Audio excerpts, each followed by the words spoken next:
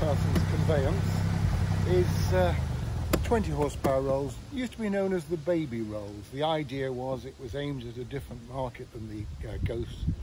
It was in fact aimed towards the owner driver and um, hence quite a lot of them had light and slightly more sporting coachwork.